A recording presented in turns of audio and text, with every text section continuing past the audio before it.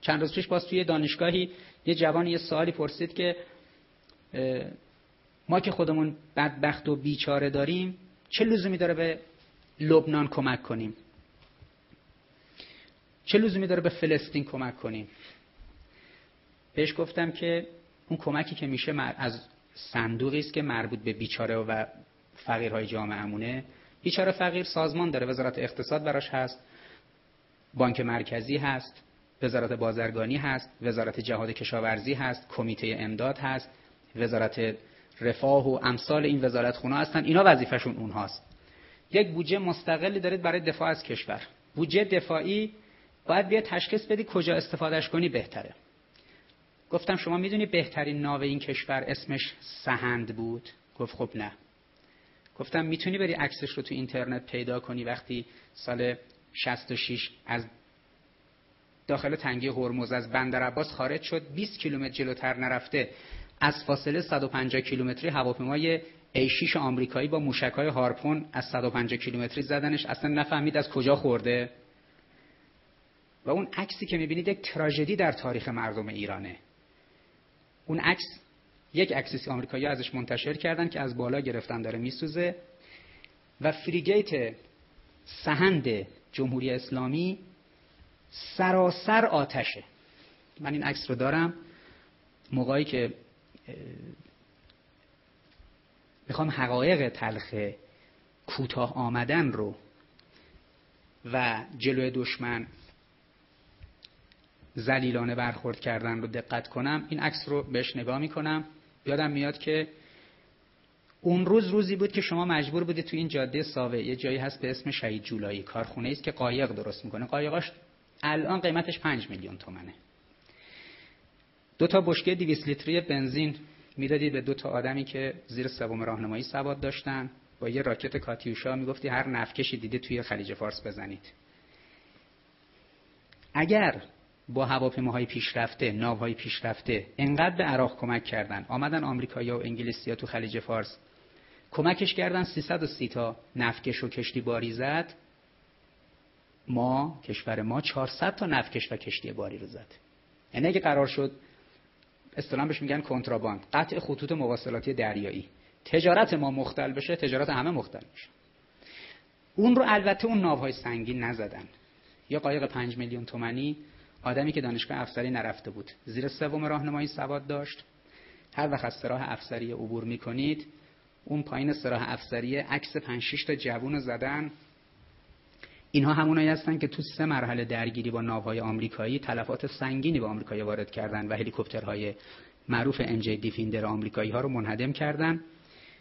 یک 20 دقیقه 25 دقیقه از عملیاتشون فیلم واقعی وجود داره که فکر نمی کنم حالا به این زودی یا تلویزیون ما این موقع اینا رو پخش کنه. اون که فرماندهشون بود سوم راهنمایی سوادش بوده. یعنی بقیهشون هولوش پنجم ابتدایی و معروفه. اون جوون رو اون مهدوی رو من میشناختم. و افراد دیگه که تو اون تیم هستن عکسشون رو توی سراح افسریه روی دیوار بزرگی کشیدن. پاسخ من به اون جوونی که سوالش این بود که چرا ما باید به لبنان و جای دیگه کمک کنیم بهش گفتم شما یه زیردریایی می‌خرید 150 میلیون دلار. تو مانورا می‌بینید چیز زیبا و شیکی رو آب داره راه میره. می‌دونی وقتی جنگ بشه این هنوز از بندر عباس و بوشهر فاصله نگرفته. از یه فاصله میزننش که هیچ وقت تو تاریخ معلوم نمیشه از کجا خورد. اما شما به اینکه این 150 میلیون دلار رو بدی زیر دریایی بخری میای میشینی اینجوری فکر می‌کنی که اگر بیای سالی یک میلیون دلار میشه یک میلیارد تومن.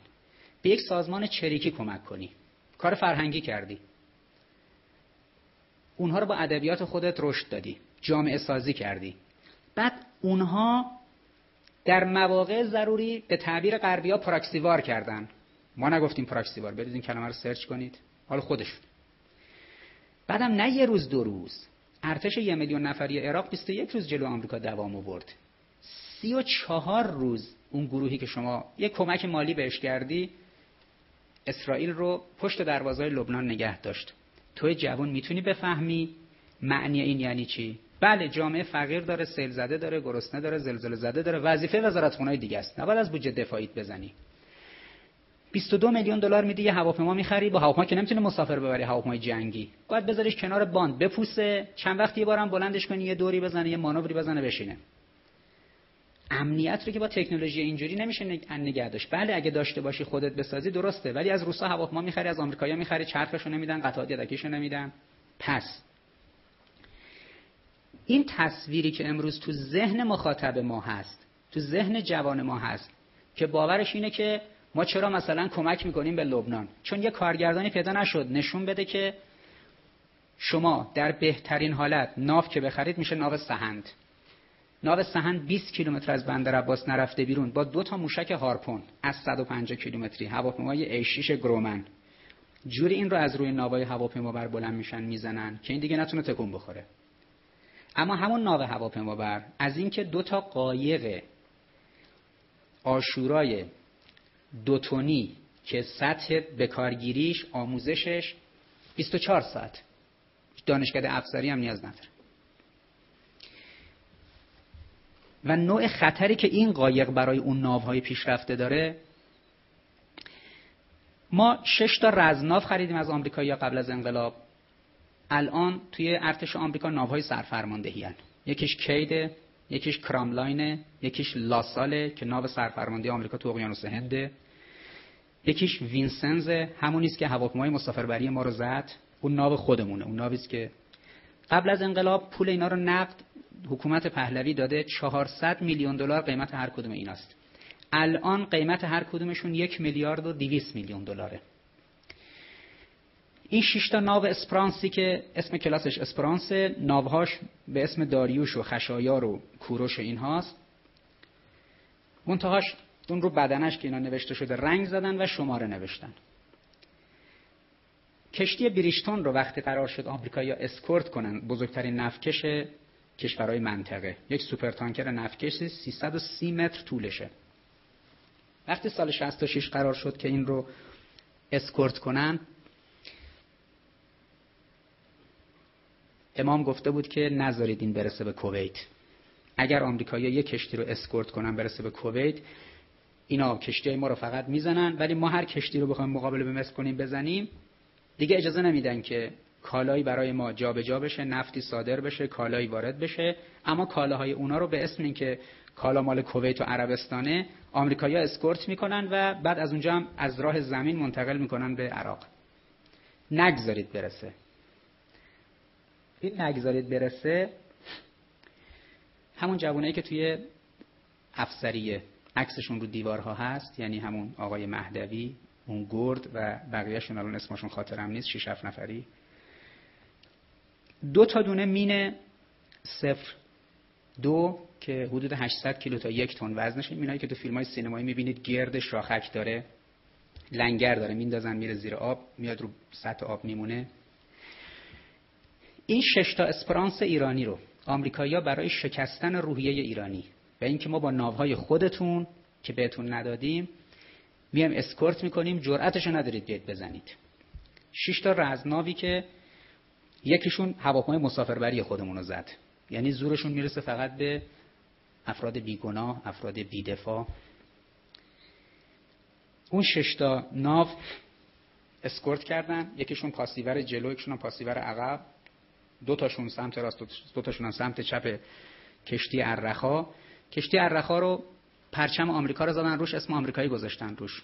کشتی بریشتون یکی از شاهکارهای دفاع مقدس ما زدن کشتی بریشتون بود. هنوز البته از مادر زایده نشده کارگردان و سناریستی که بتونه این فیلمو بسازه.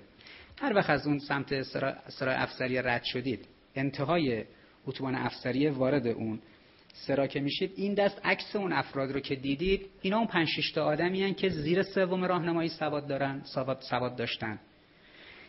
و اینها رفتن. دقیقا یه جای این مینها رو ریختند که به ناوها نخورد ولی به کشتی بریشتون خورد. و کشتی بریشتون اون ناو چون اون مین چون یک تن مواد منفجره داخلش هست کشتی 330 متری رو جر دادنش و پاره کردنش. فرض کنید دو برابر این سالن بدنه اون نفکش جر خورده بود. عکس این رو مجله تایم و نیوزویک روی جلد چاپ کرده بودن. هیچ وقت این تصویر استراتژیک رو جوان ما مگر اینکه یه کسی مثل ما وجودش داشته باشه توی تلویزیون بگه توی جلسه سخنرانی بگه. ولی این سوال که ما چرا ما چیکار داریم به فلسطینیا؟ فلسطینی برای فلسطین نمیجنگه داره برای ایران میجنگه. لبنانی برای لبنان نمیجنگه داره برای ایران میجنگه. جرأت گفتن این و جرأت فیلم ساختن اینجوری میشه تصویر استراتژیک ایجاد کردن. بله کشور مشکل و بیچاره و فقیر و درمانده و بیکاری و این حرفا داره وزارت خونه براش داره. شما چرا بخش وزارت دفاع رو میگید بیاد بودجه امکاناتش بره اونجا؟ کشور دفاع نیاز داره. چطور شما وزارت بهداشت رو کسر نمی‌ذارید؟ چون دفاع بدن مهمه واکس طرح واکسیناسیون طرح چه طرح چه. اینا دفاع بدن دیگه. دفاع ملی هم دفاع بدن ملیه. نه وزارت بهداشت می‌تونه تصف کنید نه سیستم دفاعی رو. اون مشکل و بیچاره و فقیری که دارید اون براش ده تا وزارت خونه دیگه دارید. اونا کم کاری کردن اونا بیورزگی کردن. اونا هم ضریب امنیت کشور امروز با... یکی از بالاترین ضرایب امنیتی تو دنیاست. اونا هم ضریب رفاه و ضریب عقب ماندگی رو حل کنن. این مثال هایی که می‌زنم و از نمونه هاش صدها مورد وجود داره. متاسفم از جامعه نویسندگان. متاسفم از جامعه هنری متاسفم از این افرادی که ما باید بیایم مثلا بنشینیم اینجا این نکات رو تدریس کنیم این نکات رو آشنا کنیم. یعنی جوون رو بگیم آقا این فیلمی که می‌بینید سه هزار قسمت سریال بشینیم ببینیم. بعد بگیم این قسمتی که شما اینجا رو می‌بینید یه کسی وجودش رو داشته باشه جرأتش رو داشته باشه اطلاعات خامش رو ما بهش میدیم بشینه سناریو بنویسه فیلمنامه بنویسه فیلمش رو بازی کنه. تصور کنید 5 تا 6 تا جوان سواحل بوشهر رو آدمای روستایی با همون لهجه‌های ریسالی دلواری. اینا یه قایق بوکهمر سوئدی کوچیک رو سوار بشن با یه قایق ولفجر. برن خیلی جلوتر از جزیره فارسی. بیش از 250 تا 300 کیلومتر با, با شهر بوشهر فاصله داشته باشه. توی مسیر عظیمترین اسکورت دریایی تاریخ که 72 ساعت CNN مستقیم پخش مستقیم می‌کرد که ببینید این ناو رد شد و ایران نتونست بزنه. و حرف رهبری مملکتی گفته بود بزنید نذارید برسه به کویت. زدنش. هیچ کس جرات نکرده در مورد این فیلمنامه بنویسه. حالا شما توی اینترنت کلمه اسپرانس رو search کنید. کلمه اسپرانس رو که search کردید تو کلاس اسپرانس 6 تا ناو میاد. ناو وینسنس رو search, search کنید. یه کلاس از ناو لس آنجلس. اونا اسمش تو همه جای دنیا اسم شهرها رو می‌ذارن روی ناوها. شهر لس آنجلس اسم یک کلاس ناو پیشرفتشونه. یک کلاس از اون بالاتر مربوط به اسپرانسه که ناو پاسیوره. ویژگیش اینه که پنج حوزه می‌تونه بجنگه. با زیر آب با هوا با هواپیما با زیر آب با زیر دریا یا تو سطح با ناوها. می‌تونه علیه خشکی ها و سرزمین ها بجنگه و به طور جدی نیرو امکانات پیاده کنه. کلک اتمی حمل می‌کنه موشکایی که می‌تونه حمل کنه موشکای کلک اتمیه. یه دونه از اینا هست من اینو از نزدیک توی دریای عمان دیدم.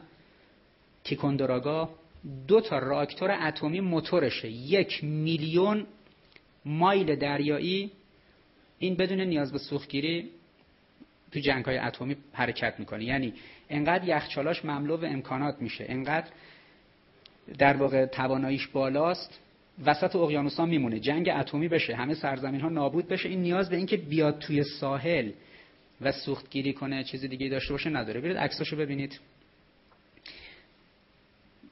در اسکورت اون شیشتا ناو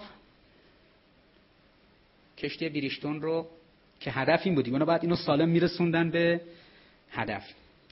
عکس زیبایی که یا تایم بود یا نیوزویک خاطرم نیست. یکی از این دوتاست. موقعی که احساس خطر می‌کنن و تمام خبرنگارا رو از روی این ناوها با هلیکوپتر منتقل می‌کنن به سواحل رأس و تنوره عربستان. وقتی این هلیکوپتر بلند میشه یکی از خبرنگارا از بالای عکسی گرفته. این جهت کشتی بریشتون به سمت کویت. اون سمت در 300 کیلومتر ساحل ایرانه. این سمت هم ساحل عربستان. ناوهای پاسیور خب طبیعتا چون 150 60 متر طولشونه از اون ناو کشتی 300 متری کوچیک‌ترن. این که داره تو آتیش میسوزه داره غرق میشه اینا آمدن شش تا اسپرانس آمریکایی اومدن پشت این سنگر گرفتن به این خیال که موشک ایرانی اومده خورده به این. اگر موشک دیگه ای آمد خورد اینا پشت این سنگر گرفته باشن. این تصویری است که رو جلد مجله حالا یا تایم بود یا نیوزویک. حالا تو سال 66 رو اگر تابستون سال 66 رو این آرشیوهای مجله تایم و نیوزویک رو بگردید می‌تونید این رو ببینید. این خیلی دشوار فیلم واقعی جنگی ساختن. ما که نمیگه مثل اینو افسانه پردازی کنید نشون بدید به ایران حمله اتمی شده. می‌بینید نقشه چاپ می‌کنن توی دنیا که به ایران از خاک آمریکا حمله کردن اسرائیل حمله